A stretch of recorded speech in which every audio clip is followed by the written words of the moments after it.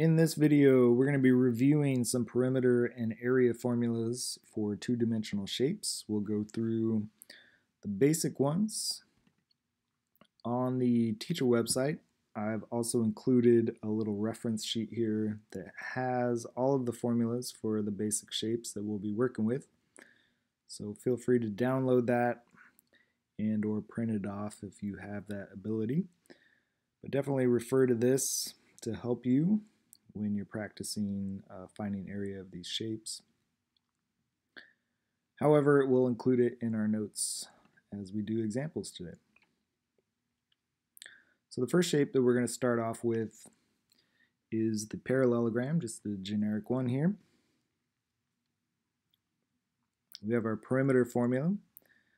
Uh, in reference to this diagram, our side A and our side B there, if we add those two lengths and double that sum, we'll get the perimeter around the shape. Although, you're always welcome to just add up all the side lengths as if you were to walk around it.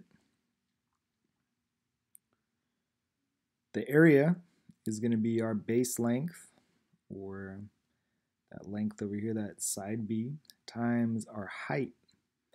Notice that the height is not the same as side A. Side A is a diagonal sort of length, a little bit longer than the height here. So be careful there. In our area formula, we need to use these two sides that are perpendicular, the base and the height. And I try and emphasize that right here in our reference sheet, the base and the height are the perpendicular sides.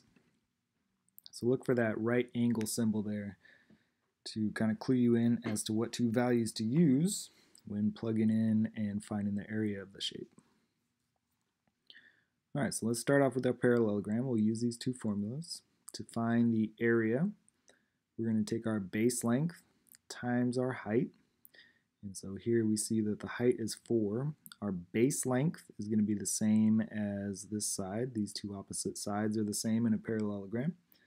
So 12 times 4 will give us our area there. And that's 48. With our units for area, we're going to make sure and square them. We have a unit times a unit. Whenever you multiply something by itself, you square it. So with area, we always say we have square units. So this here is square kilometers. Kind of a really big parallelogram. Not something that's going to fit on our paper there. To find the perimeter, we could add up all the sides. You could do 12 plus 6. Over here is another 12, and over here is another 6. You could add up all four of those values. Let's go ahead and use this little shortcut. Because we have two pairs of opposite sides that are the same length, we can just add up one of our pairs of side lengths here and just double that. So 12 plus 6 is 18. If we double that, we get 36, and our units are kilometers. So we go all the way around the shape, that's 36 kilometers. And to fill up this shape inside, we need 48 square kilometers. All right, when we get into our special types of parallelograms, like the rectangle or the square, a unique thing happens in that the, uh, the base and the height end up being the length and the width. So we can simplify our formulas here to just be uh, for our area, base times height, or length times width. And for our perimeter, we could say it's the length plus the width doubled. All right, so having a width of 7 and a length of 2.5, if I multiply those two units, 7 times 2.5 gives me 17.5, or 17 and a half square feet fill up our shape. To walk around our shape or to outline it, we need 7 plus 2.5 plus another 7 plus another 2.5. You could add up those four sides or just add up two of the sides, the length and the width, and double it. So 7 plus 2.5 is 9.5. If we double that, we get 19 feet. All right, one more parallelogram here, special one called the square. The unique thing about the square is that all sides are the same. So there's another way that we can simplify our formulas, which I included on our reference sheet here. Since the perimeter would just add up four sides that were all the same, you could just use multiplication instead there, and 4 times the side length would give you the perimeter. Find the area, because the base and the height, or the length and width, are the exact same thing, then you can just square that side length value, multiply it by itself. And there's another unique way to find the area of a square if you were instead given the diagonal length, the length from one corner to the other, you could also use that to find the area by using this version of the area formula where you take the diagonal length squared and you cut it in half after you square it. That should be equal to the side length squared. All right, so taking a look at this example of a square, the perimeter, I could add up 5 to itself 4 times, or I could multiply 4 times 5, or just to show you that this formula that we provided at the beginning also works as well. I could take the base times the height, or sorry, the base plus the height, 5 plus 5, that's 10, and I could double that, and I still get the exact same length for the perimeter, 20 centimeters. Find the area. Since we're given the side lengths, you could just square 5, 5 times 5, or think about base times height, which is the exact same thing. 5 squared or 5 times 5 is 25, and we got square centimeters as our units here.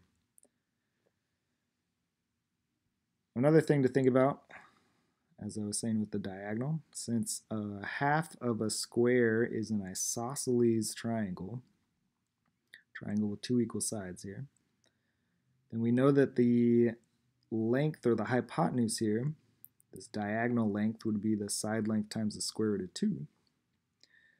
So the diagonal length is 5 times the square root of 2. So if you square that, well, you get 50. And if you cut that in half, well, then you get 25. So another way that we could use the diagonal there to find the area, that's a little bit of a bonus there. All right, moving on. Let's talk about the triangle next. The unique thing about the triangle is that it is half of a parallelogram. It's half of a rectangle or it's half of a square. So if we use our formula for parallelograms, base times height to find the area, and we just cut it in half, well that'll be the area of a triangle. So again, unique in that we need to locate the base length and the height, again those two perpendicular sides. That's what we need to plug into our formula. And then we'll cut that in half and we'll get the area of a triangle instead. So for example here we have a triangle. If I imagine that it was half of a surrounding rectangle, what I could do is I could find the area of the rectangle, which would be base times height, 15 times 6, and I could cut it in half to just find the area of the triangle. So that's what we're doing here. We're going to take our base of our triangle, 15 meters, multiply it by the height, the perpendicular height there of 6 meters, and then cut that product in half. So 15 times 6 is 90, and if I cut that in half, well, I get 45 square meters. The perimeter of a triangle can be found by just adding up the three sides. Sometimes you have unique triangles for example, here we have an isosceles triangle. So again, you could add up the three sides or you could know that we have two equal sides. So you could just double that leg length there. I could add 9 plus 9 or I could do 2 times 9. Or if I had an isosceles triangle, and then knowing that I have three equal sides, well again I could use multiplication instead of division. Uh, they're not super shortcuts, but you could play around with those if you'd like if you have any of those special triangles. So here we have a perimeter of 33 meters. And that's how we can work with triangles. All right, on to the next shape. We're on to a circle here. With a circle, in order to find its perimeter, or as we work with circles, we call it the circumference, but it's the exact same thing. It's the distance around the shape. And working with the area of a circle, we need to know what uh, either diameter or radius means because we're going to use those in our formulas. So in a circle, the radius length is the length from the center of the circle to the outside of the circle. The diameter is the distance across the center of a circle, so as long as you draw it exactly in the middle of the circle, that's the diameter length. As it turns out, the radius is half of the diameter, or the diameter is twice the radius. So here to find the circumference, or the distance around a circle, the formula is 2 times the radius. Well, if I double the radius, I know that that's diameter, so another way to represent this instead is to use the diameter. And then we're going to multiply either of those by the symbol called pi, which is a number, it's a number that can be rounded to about 3.14, although your calculator will most likely have a button called the pi button there. So if you can find that symbol on your calculator and press it, it should give you more of an accurate representation of pi, although it's not going to be entirely accurate as pi is never ending and our calculator can only hold so many values, but it's better. So if you need to multiply by pi, use that pi button on your calculator to get a more approximate answer. To find the area, or what we would need to fill up the inside of a circle, what we're going to do is we're going to take the radius value and we're going to square it, and then we're going to multiply by pi. So let's practice doing that. To find the circumference of this circle, with a radius of 9 inches, I could double my radius, so 2 times 9 is 18, and then multiply by pi, that would give me the distance around the circle. So if I do on my calculator 18 times pi, should get approximately 56.55 inches. Rather than round my answer and approximate it, what I can do is I can write my answer in terms of pi. So I can just write my number with pi attached to it, and that's actually the most uh, accurate way to represent the value rather than rounding it using a decimal form. So sometimes test questions will ask you to leave it in terms of pi.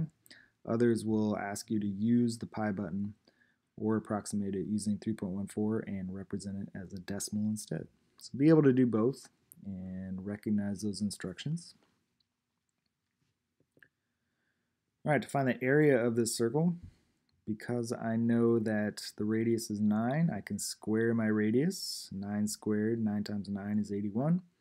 And then if I multiply that by pi, I get my area. So again, in terms of pi, I could just say it's 81 pi square inches. Or if I use my calculator and do 81 times pi, then I should get a decimal that's approximately 254.47 square inches. So That's how much we would need to fill up that circle.